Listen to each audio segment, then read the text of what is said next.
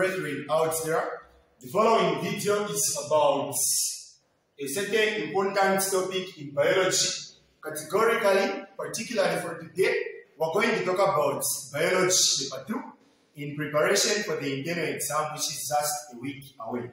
Join me as I share with you how best we are going to discuss and be able to explain everything in detail that can be involved if we are to relate our understanding talking about endocrine glands. So this question comes from homeostasis. It can also be linked to endocrine system because we've got the glands that are from homeostasis or under certain organs which can be able to be involved with a certain like maybe gland. So figure 2.1 and 2.2 show endocrine glands labeled P and Q respectively. So we have gland P. This gland P cannot be clearly identified if we can't identify this organ which is linked to gland P. Then we also have, that is the ileum, which is the exact type of an organ inside the body, which should help us identify gland Q. So in this case, we're going to find that this gland P is a, on top of this bean-shaped organ. This bean-shaped organ is called a kidney. If this is the kidney, we are going to find that this gland is responsible for secreting an hormone called adrenaline.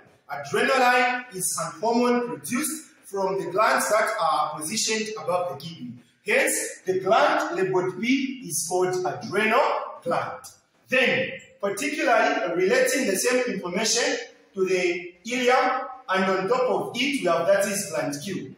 We are going to find that this is the ileum. The ileum is part of the small intestine. So this means gland Q is situated above the small intestine. The small intestine is divided into the ileum, the jejunum, and the duodenum. Now in this case, this gland is going to be a double gland because it can secrete enzymes and also it can secrete hormones at the same time. Hence, this gland Q is going to be called the pancreas. So in this case, we have the blood vessels, meaning these can be the renal vein or the renal artery. Then we have the ureter linking to the urinary bladder.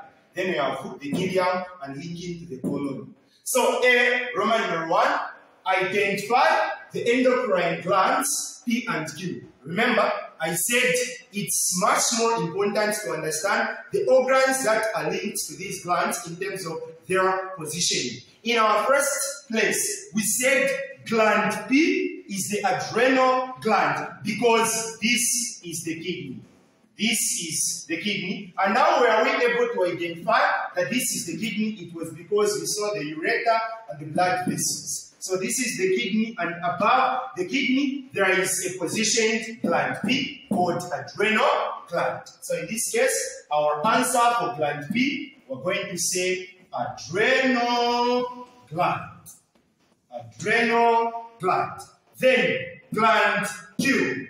Gland Q is situated or positioned above the ileum. The ileum is part of the small intestine, meaning the only gland that is situated or positioned in the, or maybe closer to the alimentary canal, this is going to be called the pancreas. So gland Q is going to be called the pancreas. Then there follows question A, Roman numeral 2. State one hormone produced by each gland.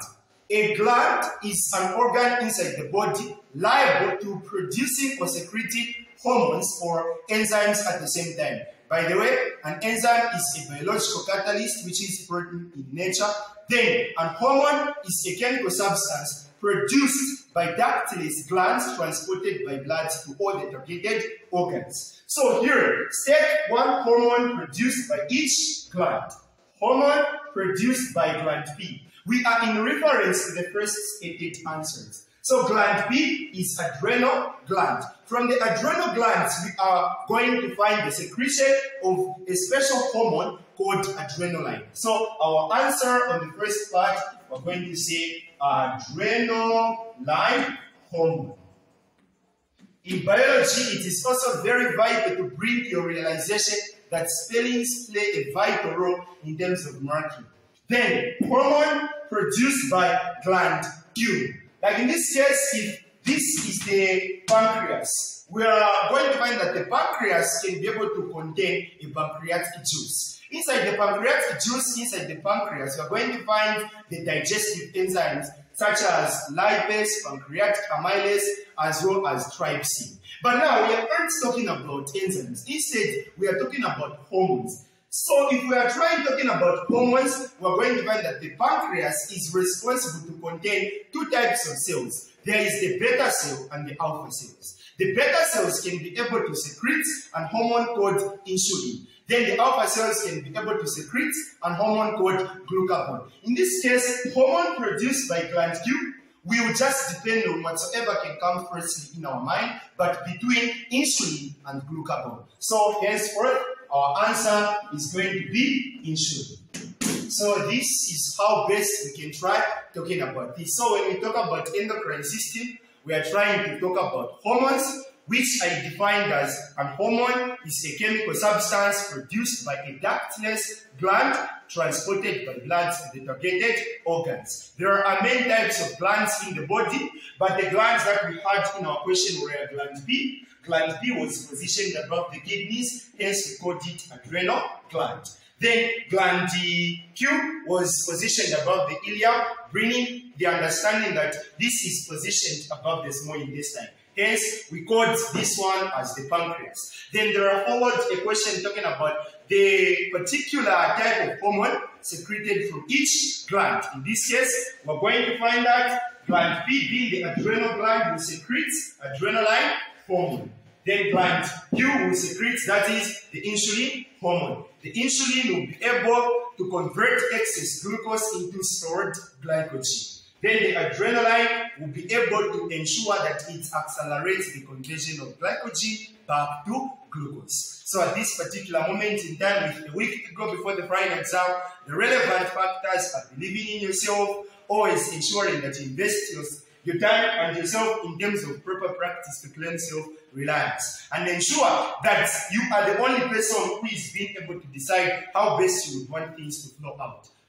From this very moment up until next time, for this time, it's a goodbye.